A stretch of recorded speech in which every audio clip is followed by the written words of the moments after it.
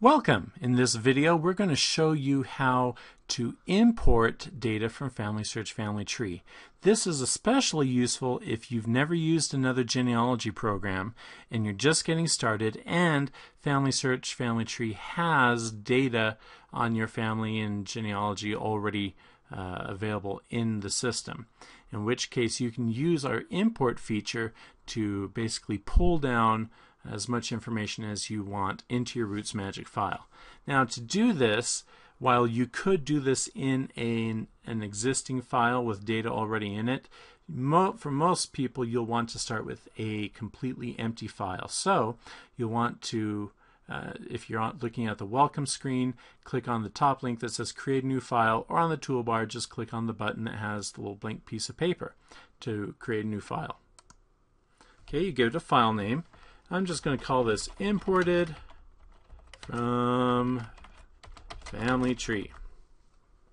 Okay, and then you have the checkboxes here. There is an option for family search support, and you want to be sure to check that. And if you're LDS, go ahead and click that LDS support.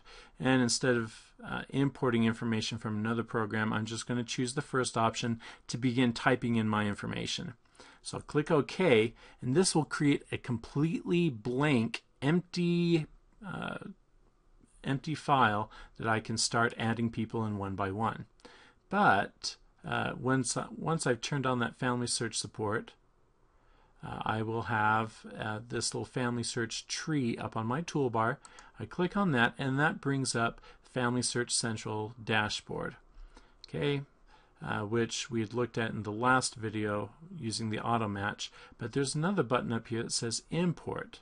So I can click import and then I tell it uh, basically a starting person if I want to start with myself or I could give it the ID of a specific person and then I tell the number of generations of ancestors and the number of generations of descendants that I wish to import.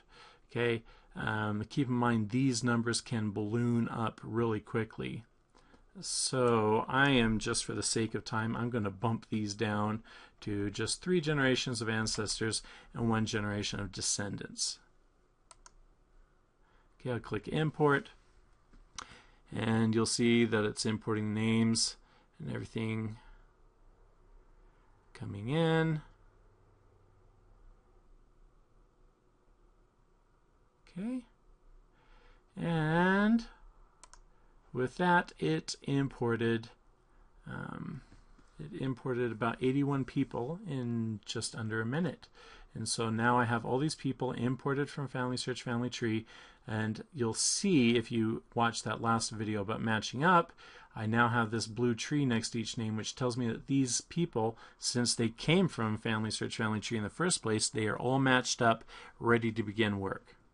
And that is how you import data from FamilySearch Family Tree into your RootsMagic file.